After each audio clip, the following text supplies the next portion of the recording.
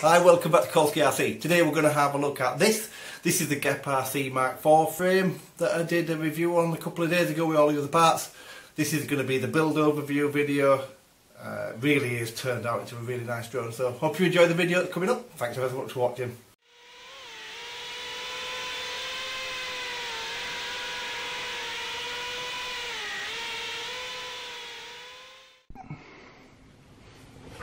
So as you can see here we've fitted the motors so these actually come with, some motors don't always come with screws, this one does. Um, some of the cheaper motors I've had didn't come with screws. So fitting your motors, it's up to you really what you want to do with your wires. I like to make sure obviously my motors are facing, with the wires facing down, obviously the four screws line up. But importantly, this is what I do. So there's various ways you can do this. Got the wiring out of the way.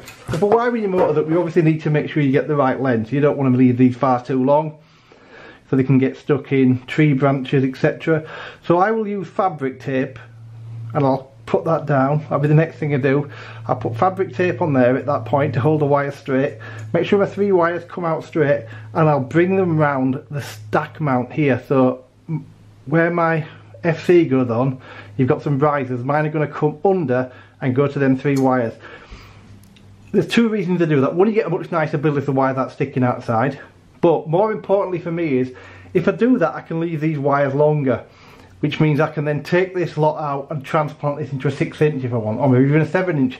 If I put the wires there, and I have longer arms, I'm going to have to extend these motor wires, which is never a good job.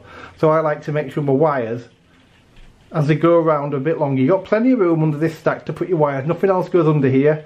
So I probably leave my wires like that kind of length, cut them there, and then if I don't have to take them off again they'll be like this length. So I could easily fit them on a 6 inch frame mounted to the front just it's just a tip I do. You don't have to do it that way. People have got their own way of doing it. So as you can see I've mounted this ESC if you've never built before again it's another important thing. Make sure you put this the right way around because if you don't put this the right way around these motors are going to be in the wrong position so as you can see on here let me see if I can actually get this in focus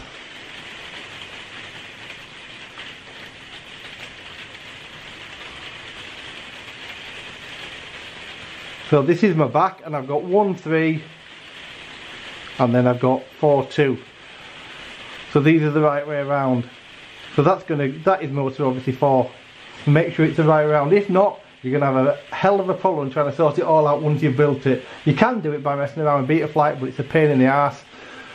So another important thing is to make sure here and also make sure when you've seated this down you're not far too close to I've used the stack mounts which I very rarely do I normally use my own mounts for this but I've just used what comes with a stack another little tip is if you're starting building quad you can get for about a tenner you can get a bag of a box you know plastic box of about a thousand screws ranging from 1.5 mil up to 4 mil I'd recommend buying some of them because you're always going to need them because it didn't come with the bolts but for the bolt and the stack on I've had my own just a little tip that so I'm going to go away and solder the motors on. When I've soldered the motors on, I'll show you with the motors soldered in and before we go on to the next stage.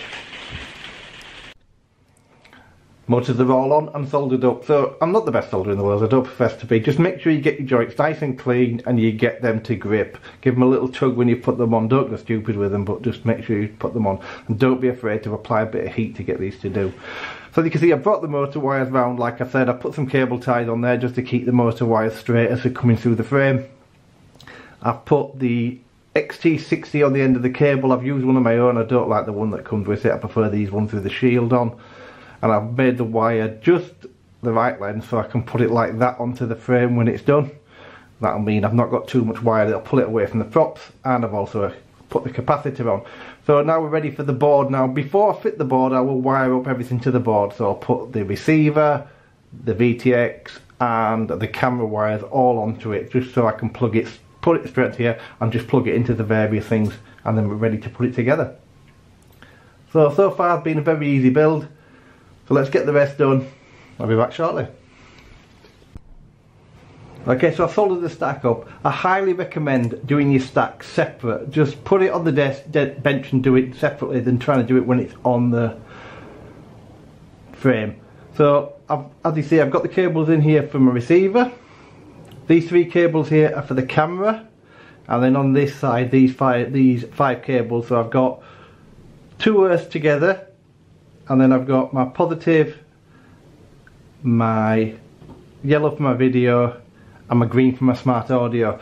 And that's virtually it. That's all I have to do on this one and that's ready to pop back in. So let's fit it in the quad. I'll be back in a second. Okay so we've now got it in the frame.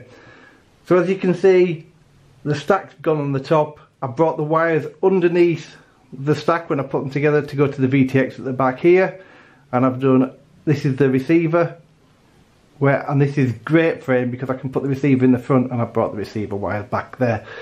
So all I've got to do now is because I'm putting the Runcam on here I'm going to mount the Runcam on the underside of the top and then put the camera in place and then it's just a matter of setting it up on Betaflight so I'll go get the camera fitted on, I'll get the frame completely built up before I set it up on Betaflight and I'll show you what it looks like.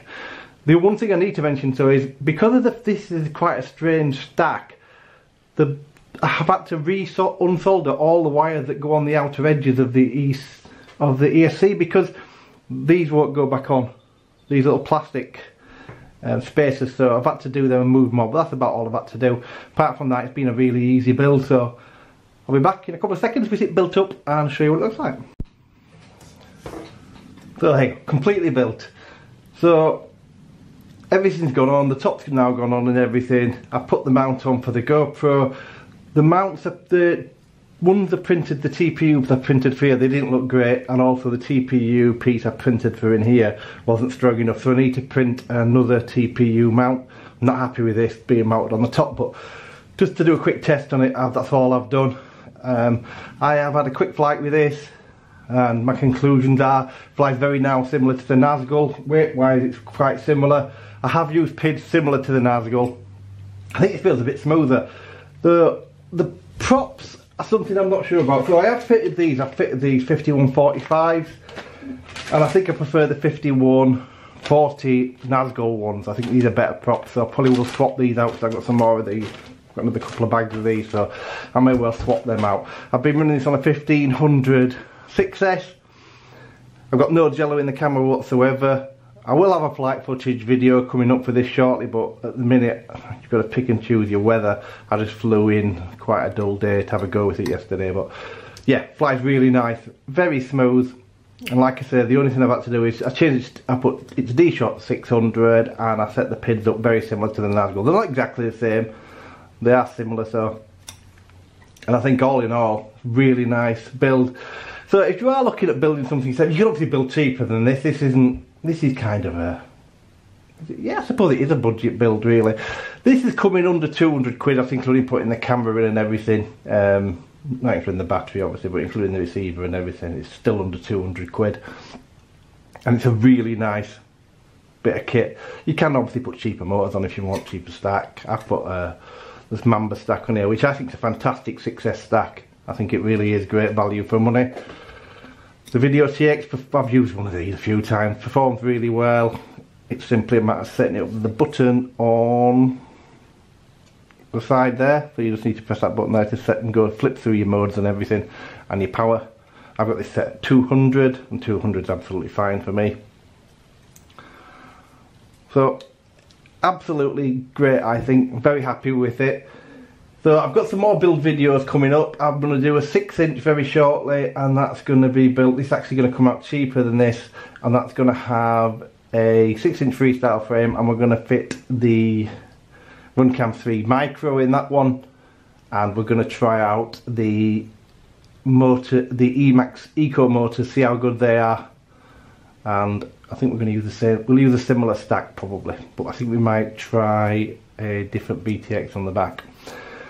So we've got to have that build coming up. I've also got the Flywoo Mr. Croc uh, HDV version, so the one that's the DJI FPV system, so you can fit the air unit in it and the camera.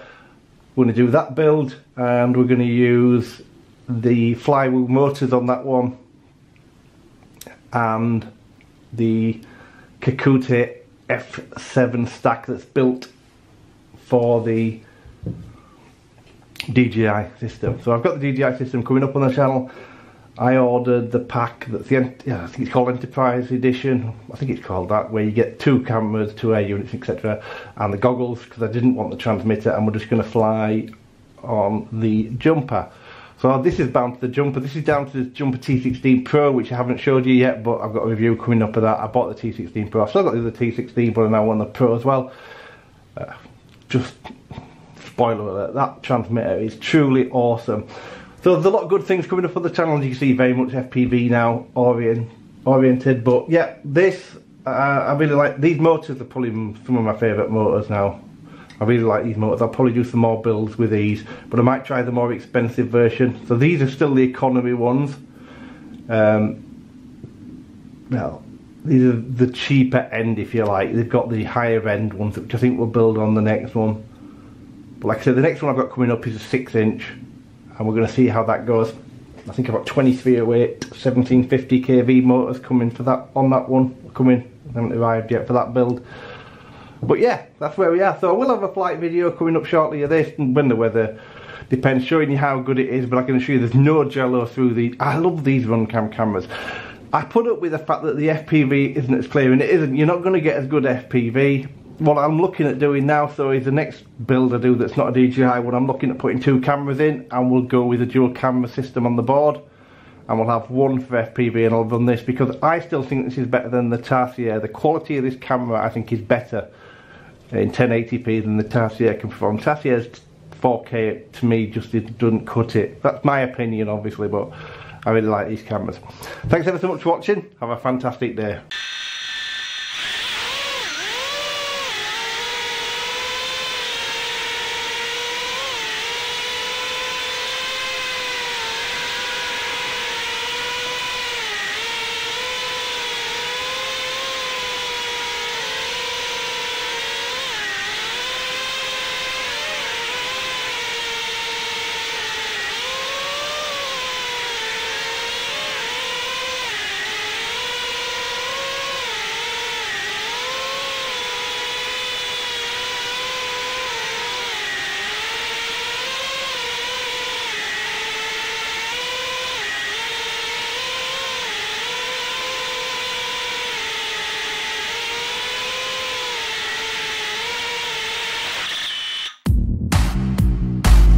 Thanks for watching my channel. If you like the video, please subscribe and hit the like button and also hit that notification bell. There's plenty more good stuff coming up.